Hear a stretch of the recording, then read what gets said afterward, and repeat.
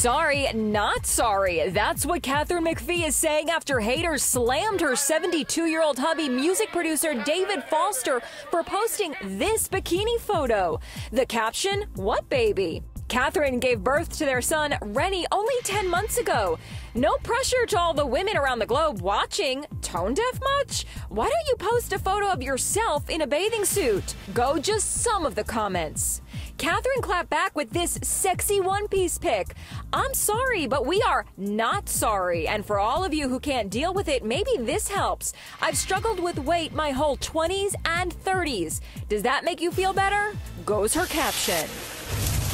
And there's trouble in the kitchen for Jennifer Garner. Remember, we are doubling this recipe. I don't know if we need all of this.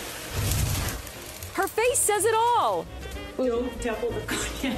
What was she making? Chef Ina Garten's famous beef bourguignon. Can you believe that just happened? That